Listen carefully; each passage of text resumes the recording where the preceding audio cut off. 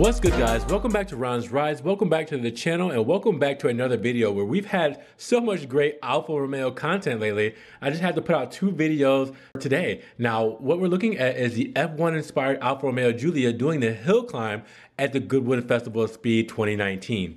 Now, the Alfa Romeo Racing Edition Giulia and Stelvio celebrate F1 return at Goodwood by showing off these two new F1 inspired Giulia and Stelvios for their UK debut. Now the special edition Giulia Quadrifoglio and Stelvio Quadrifoglio models have a look that mirrors the brand's F1 cars.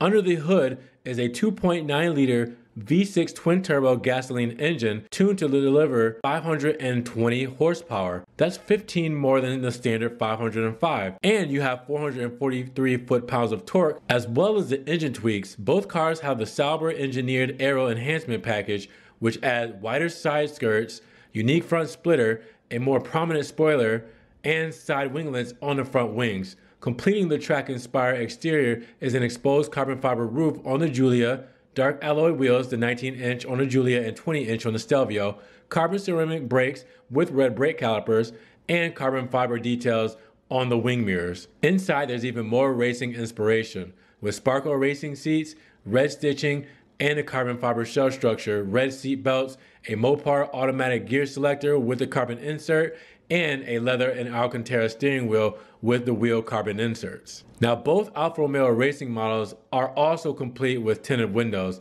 adaptive cruise control, Harman Kardon premium surround package, and the Alfa Connect 3D Nav by Mopar infotainment system with the 8.8 inch screen and a DAB radio with Apple CarPlay and Android Auto capabilities. Now, Antonio Giovinazzi is the one that's running the Giulia up the hill climb at Goodwood that you see in the video.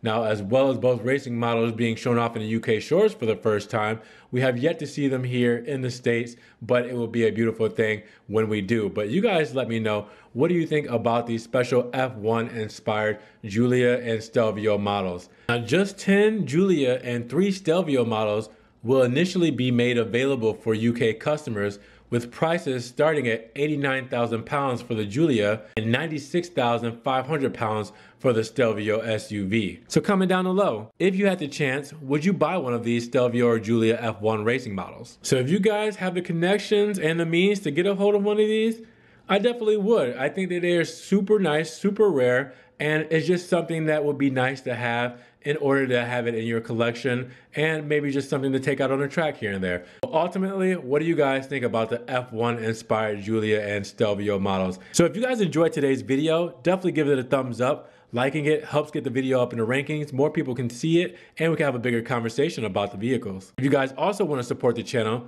check out the links below. I do have my one-time donation through PayPal if you want to donate a dollar or two dollars to the channel, my Patreon subscription, also have my social media accounts, Facebook, Snapchat, Instagram, whatever you guys are thinking. Make sure you check those out. You can subscribe to Ron's Rides, click that notification bell, and you can get these videos right to your inbox. Thank you so much for your time today, guys. Hopefully you enjoyed the video, and we will see you in the next one. Be safe, take care, we'll see you then. Peace.